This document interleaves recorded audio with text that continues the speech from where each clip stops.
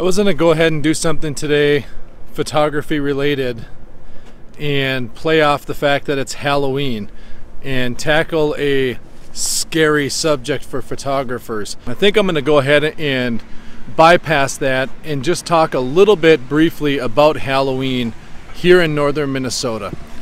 The one constant we have, probably like many places where we have cold temperatures and and um, you know, winter right around the corner in October here as November is approaching tomorrow, is that it never fails that every single year for Halloween, we get days like today where it's misty, it's cold, it's kind of rainy, and it feels like Halloween. If there's ever a time when the weather played into the holiday, we talk about having a white Christmas, snow, and everything else but how come everyone will complain about weather like this on Halloween when if you think about Halloween and every single horror movie or story you've ever seen or heard, they always take place on a dark, cold, rainy night.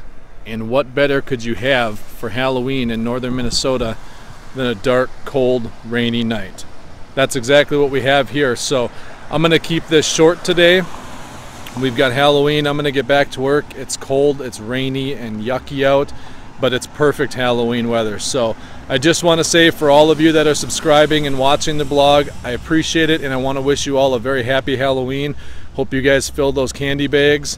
And for myself, I'm hoping my kids bring home a good amount of candy because I could use some snacks out in the deer stand this coming week. So have a good Halloween, everyone. Stay safe behave yourself, don't get in any trouble, and I'll talk to you soon.